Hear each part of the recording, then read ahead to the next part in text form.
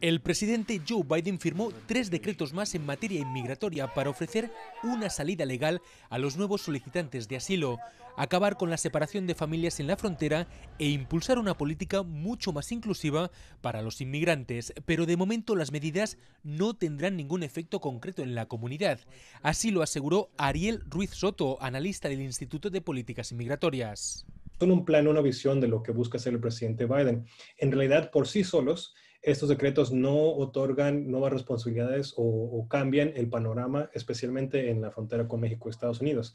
Antes de llegar a la Casa Blanca, el mandatario estadounidense se comprometió a impulsar una reforma inmigratoria, un cambio legislativo muy amplio y que, según analistas como Michael Shifter, presidente del Diálogo Interamericano, da margen a una negociación con los republicanos más moderados y abiertos a cambiar la ley. Yo creo que no va a ser fácil y no, yo no, no creo que debemos subestimar dificultad nunca para hacer una reforma migratoria comprensiva como ha planteado Biden.